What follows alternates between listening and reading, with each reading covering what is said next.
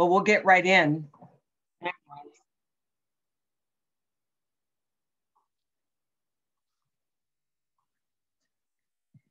Okay. Well, Father, we thank you for this time together in the good word of God. It's the infallible truth on the earth today, and we're grateful that we can handle it, look at it, read it, hear it, absorb it, saturate in it, because it is the word that for, is forever the same, the same yesterday, today, and forever. No matter what's going on in our life, no matter what's going on in the world, your word is forever settled. It's the it is the truth on the earth today and we love it we embrace it we thank you so much for it. In jesus name amen. Now we talked last week about the resurrection of jesus and the importance of it and i've been meditating on it all week because it really is a foundational truth and i came across this scripture in hebrews and i thought wow it bears repeating. In Hebrews 6, we're going to look at verses 1 and 2. He says, therefore, leaving the discussion of the elementary principles of Christ.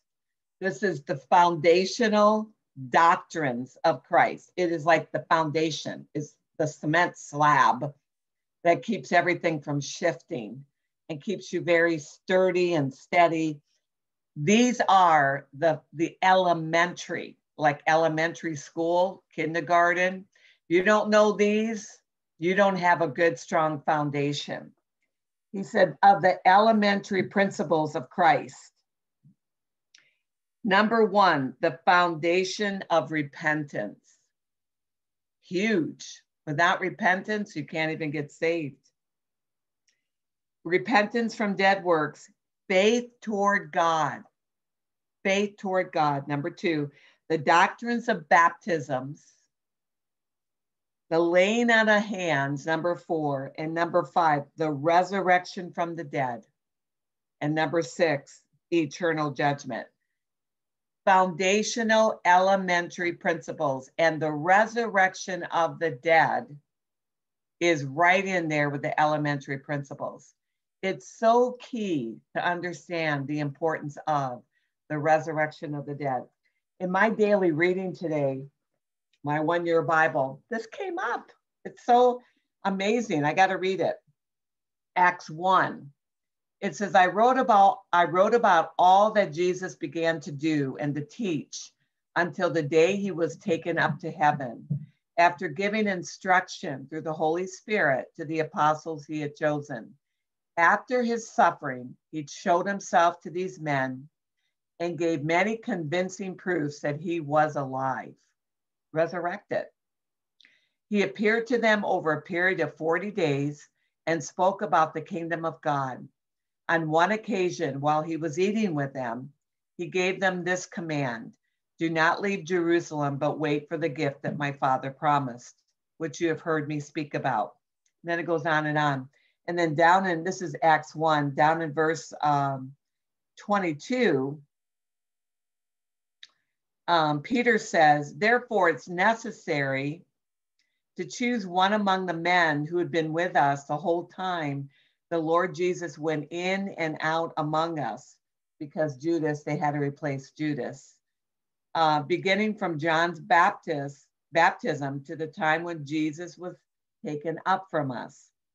For one of these must become a witness with us of his resurrection doesn't say of his good works, of how he raised people from the dead, how he healed people. No, he must be a witness of his resurrection. Without the resurrection of Jesus, 1 Corinthians 15 says, For in this life only, if we have hope in Christ, we are all men most miserable. But now Christ is risen from the dead even so in Christ shall all be made alive. See, it's our hope.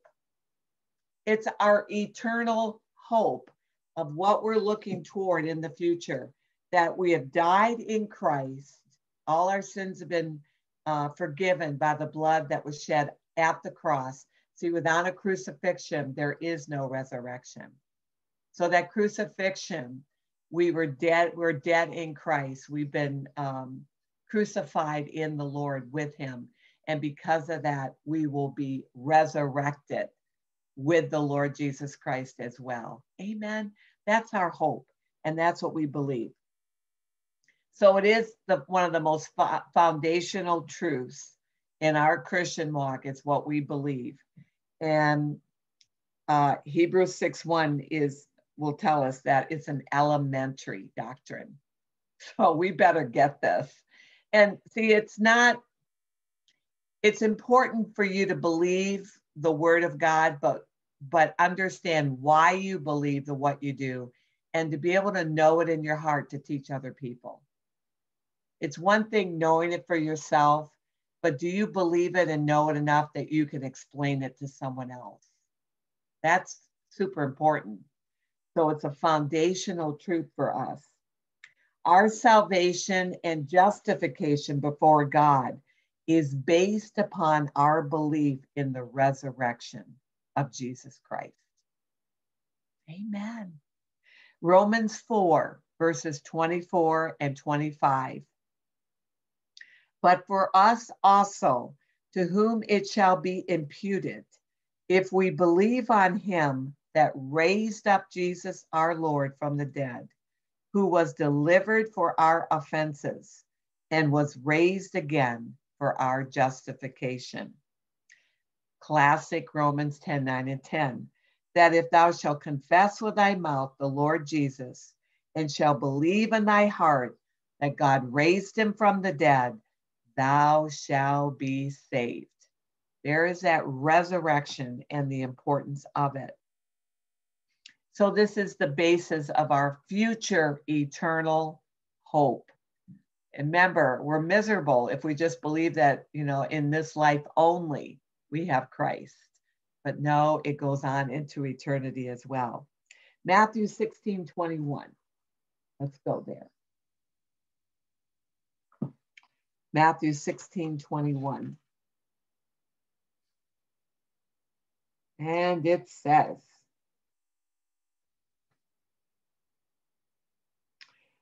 From that time, Jesus began to show his disciples that he must go to Jerusalem and suffer many things from the elders and the chief priests and the scribes and be killed and be raised on the third day. See, this was in fulfillment of all scripture, and I'm going to give you some of those as well. Um, he began to explain this even though they didn't understand. It wasn't until Jesus was resurrected from the dead on the third day that the illumination or the light that he was trying to show them then became known unto them. But he, let's turn to First Peter 1 3, and I'll give you another one. Lots of scriptures on this, by the way. First Peter 1 3. Blessed be the God and Father of our Lord Jesus Christ, who according to his abundant mercy has begotten us again to a lively hope through the resurrection of Jesus Christ from the dead. And many, many scriptures. Let, uh, let me give you a list of them that we're not going for uh, uh, time's sake. First Thessalonians 4, verse 13 and 14. You want to write these down. Romans 6, verses 3 to 5. John chapter 5, verse 25, 28, and 29. Lots of scriptures all through the book of Acts. So the message of the early church was really focused primarily uh, in uh, in faith of the resurrection that is the resurrection was so preached in the early church and the fact that Jesus could come back at any moment, any day, that they were willing to lay their lives down. They had such a revelation of the resurrection, not only Jesus' resurrection, but their resurrection, that they were willing to go into colosseums, uh, be eaten by dogs and lions, go down into catacombs and live there, live out their days there away from, you know, the, the killing of the Jews because they so put their faith in the resurrection of the Lord Jesus Christ.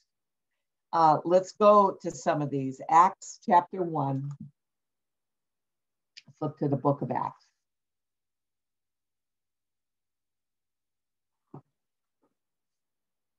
And let's look at verse 21 and 22.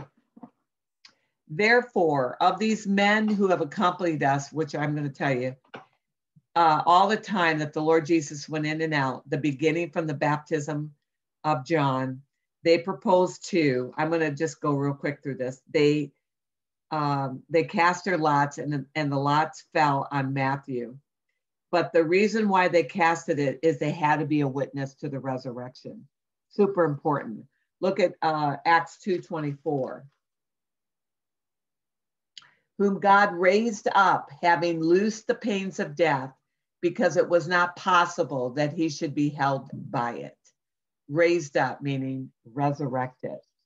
Look at Acts um, 2:29 men and brethren let us speak freely to you of the of david that he is both dead and buried and his tomb is with us to this day therefore being a prophet and knowing that god had sworn with an oath to him that of the first the fruit of his body according to the flesh he would raise up the christ to sit on his throne. We're going to look at some of those in the old testament where he was spoken of as well. Look at 3 uh, Acts 3:15 and killed the prince of life whom God raised from the dead of which we are all witnesses.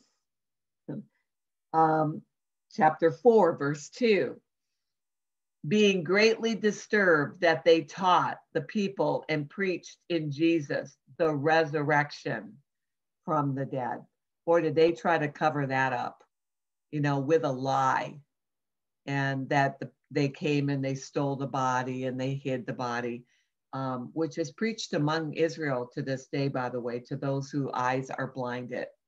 But um, they preached, the early Christians in Acts preached Jesus, the resurrected from the dead.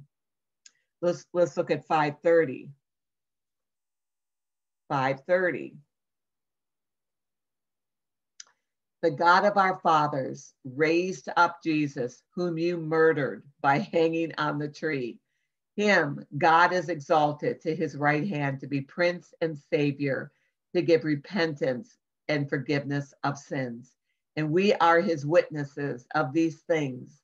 And so also is the Holy Spirit, whom God has given to those who obey him. Let's look at 10, verses 39 it's all through Acts, the importance of the resurrection of the dead. Uh, 10, 39, and 40.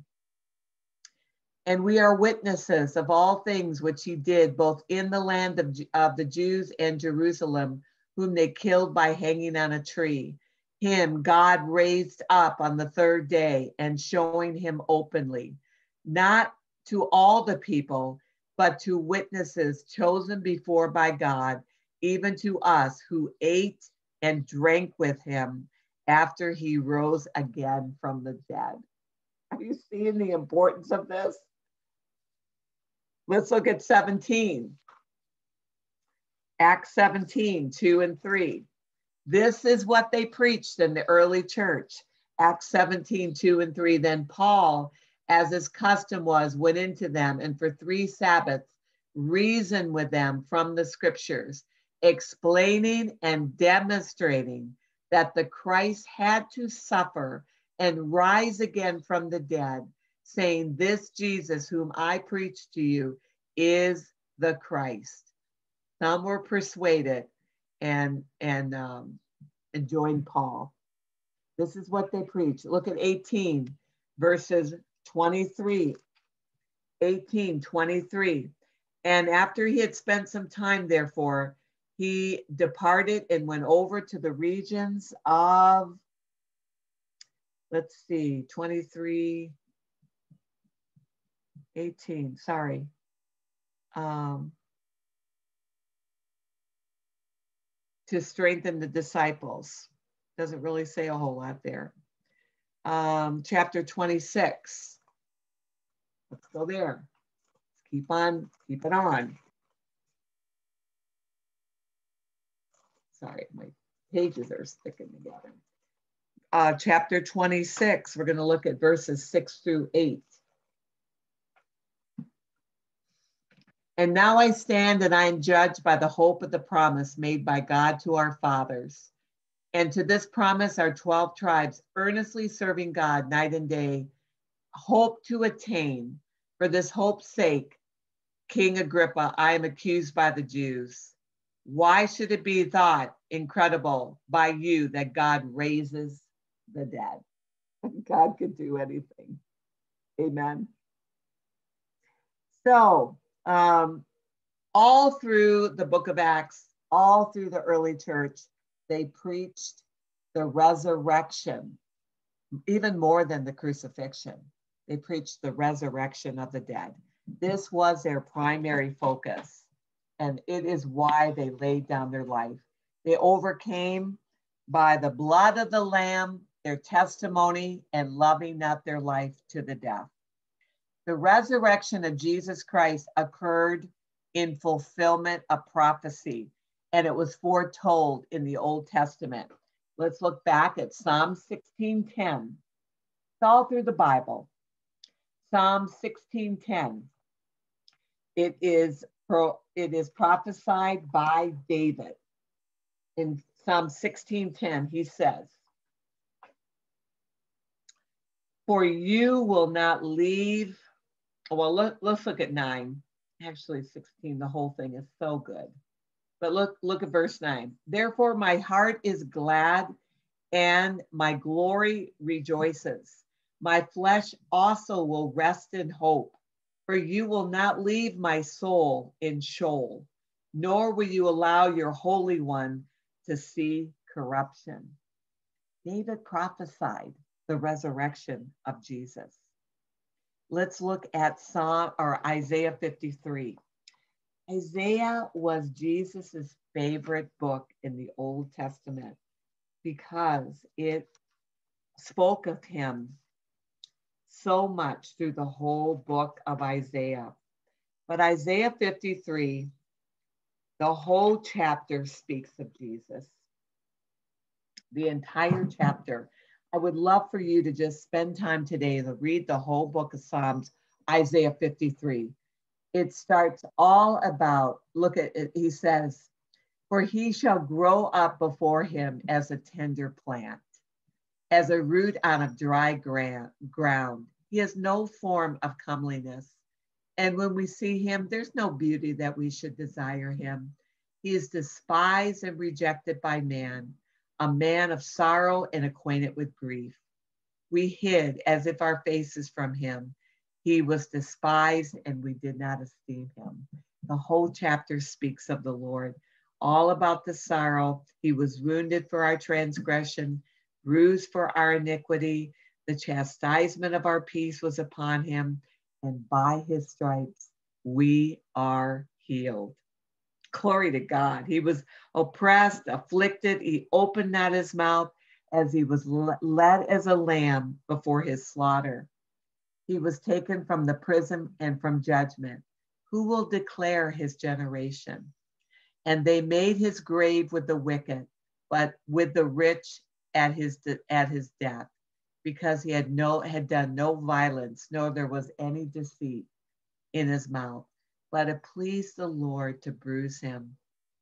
When you made his soul an offering from sin, you shall see his, you shall see his seed. That's you and I, by the way. He shall prolong his days, and the pleasure of the Lord shall prosper in his hand. This is verse 11. We, he shall see the labor of his soul and shall be satisfied.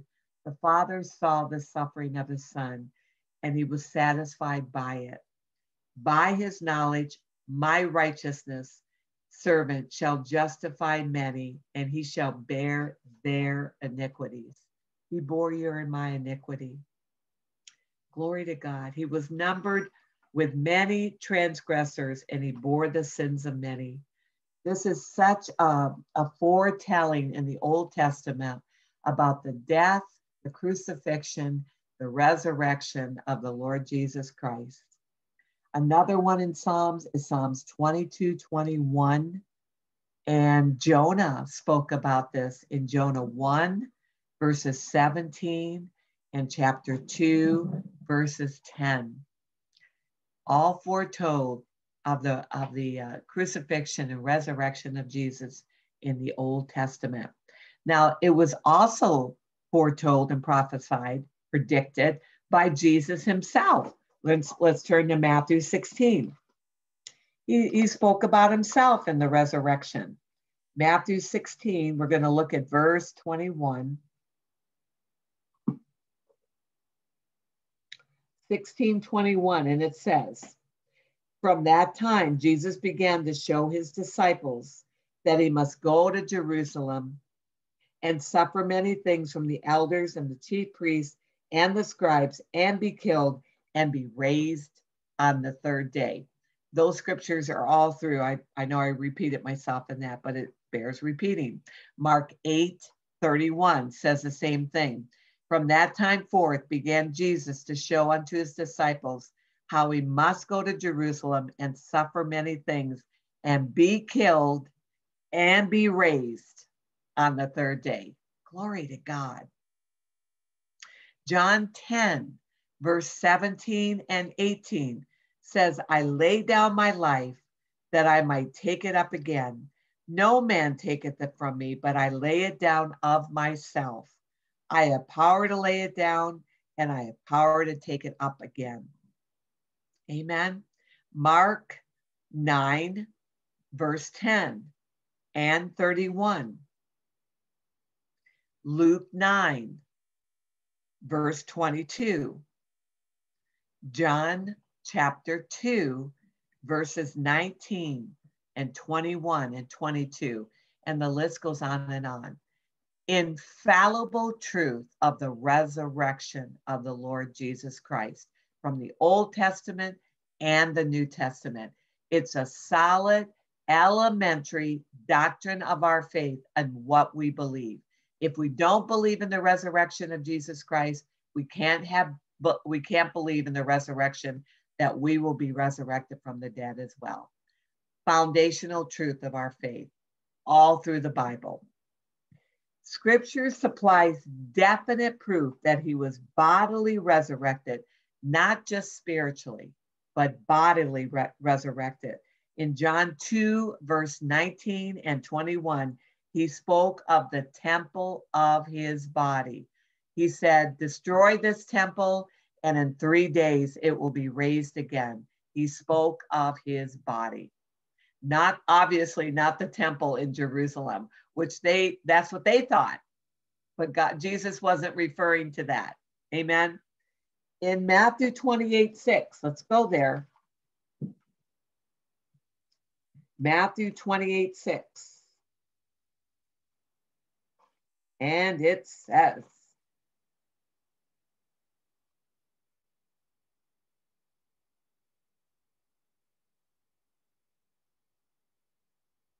Let's look at verse 5 first.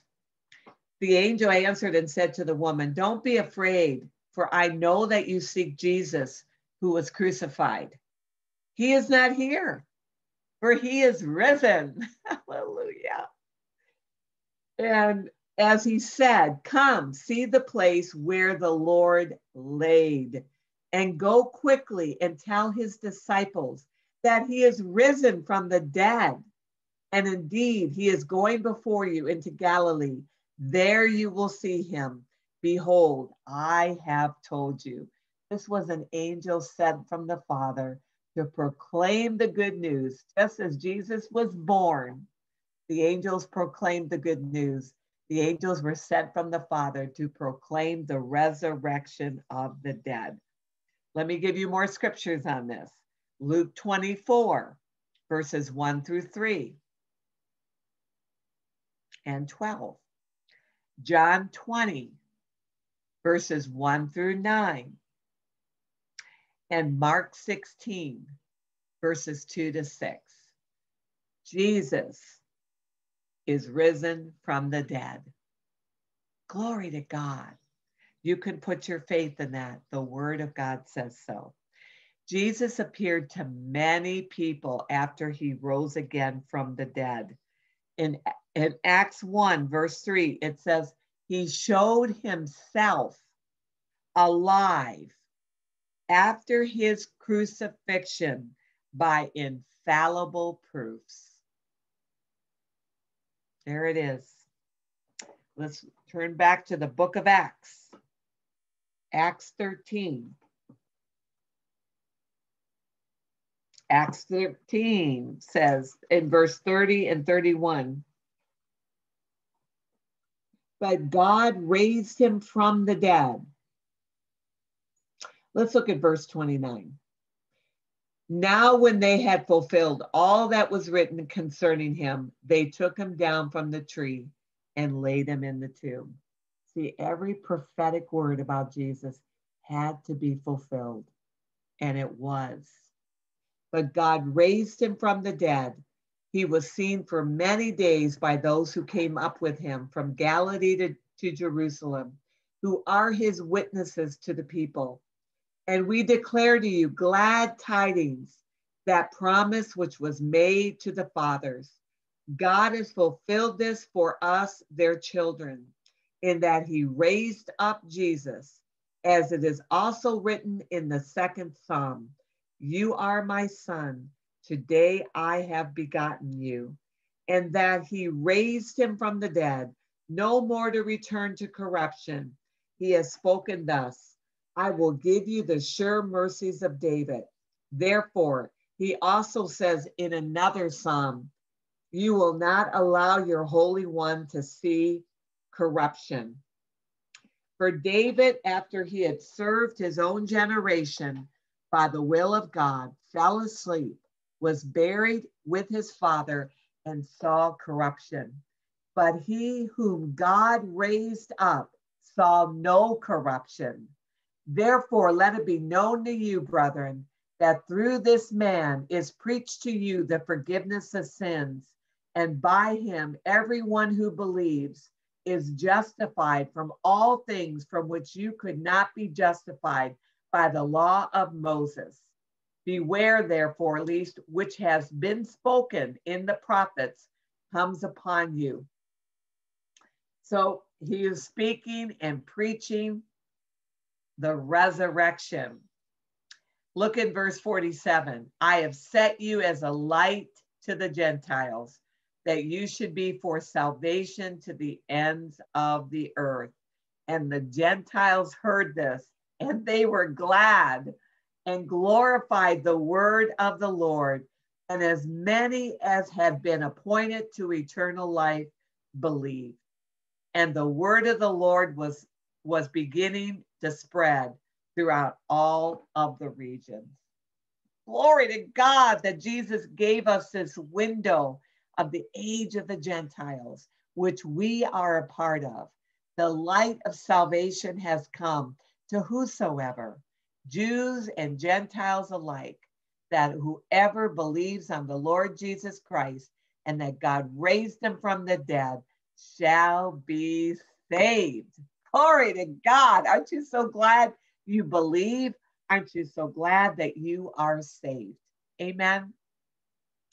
So it's important. This is a foundational truth. Remember that. It's so important that for 40 days, Jesus appeared to many, many people, infallible proof that he truly was raised from the dead. He ate with them. He showed Thomas the holes in his hands and his side, that he was not just spiritually raised from the dead and resurrected as the firstborn among many brethren, but bodily resurrected, because that's what's going to happen to us as well. Let me give you lots of scriptures on how he proved himself to many, many people that he was truly raised again, bodily and spiritually. He first was uh, known to Mary Magdalene in John 20, verse 14. And some we'll look at and some we will not, okay, for time's sake. Then he then he went to other women, Matthew 28, 9. To Peter specifically, Luke 24, verse 34. To other disciples, uh, Luke 24, 15. In the closed room to the 10 disciples, Luke 24, verses 36 to 43. And to the 11, this is John 20, verses 26 and 29.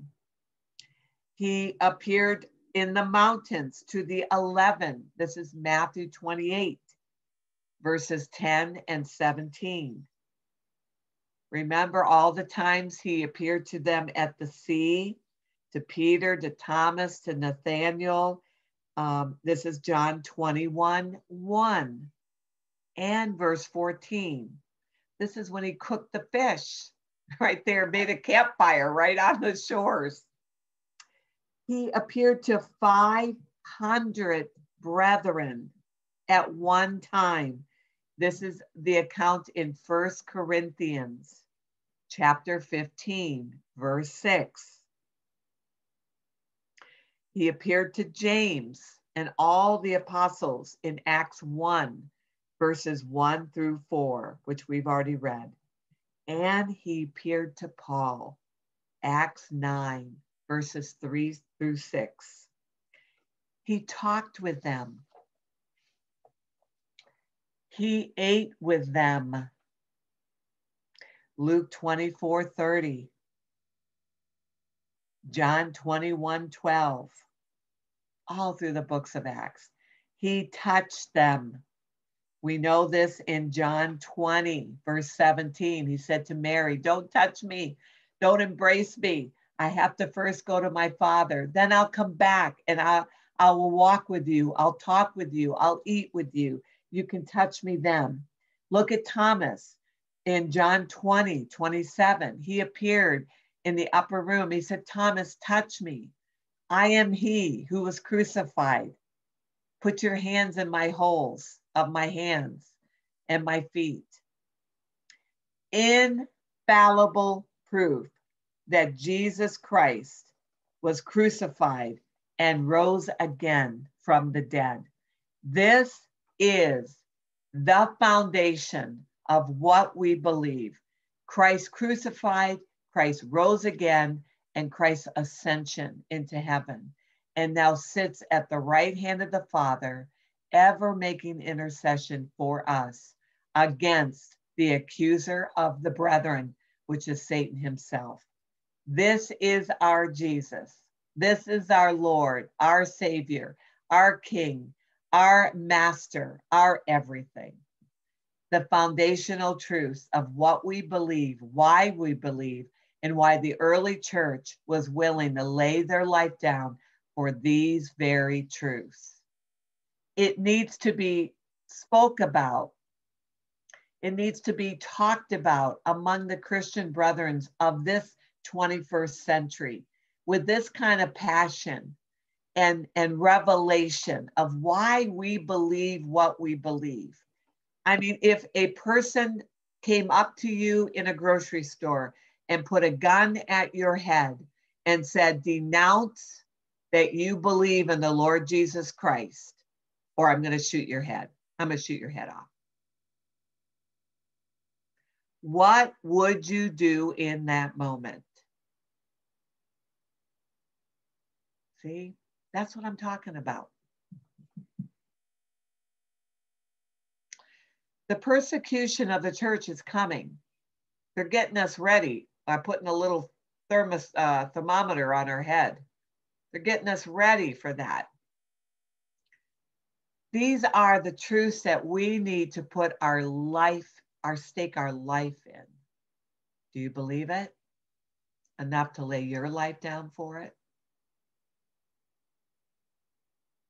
I want you to ponder about these things. I want you to put them in your heart. I want you to look at these scriptures again for yourself in your own quiet time and look at them and say, Do I really believe this?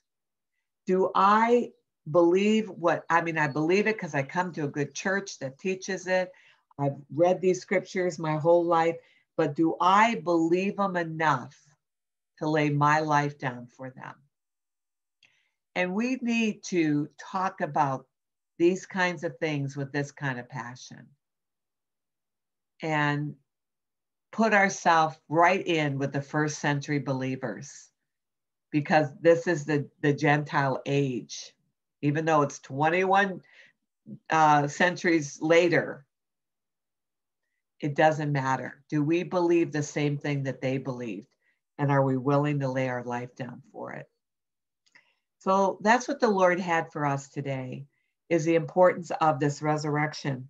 And I think I'm going to have one more part about it because I'd like to share what the resurrection gives us, the power that it gives us as born again believers. And I think we'll take up with that next week the power of the resurrection.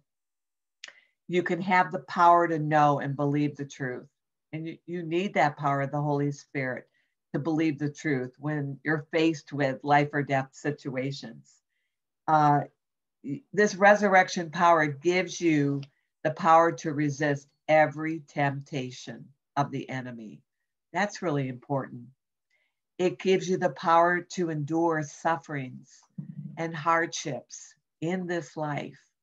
The resurrection power gives you the power to serve others when your flesh doesn't want to to love others when your flesh doesn't want to. It gives you the power necessary to receive eternal life.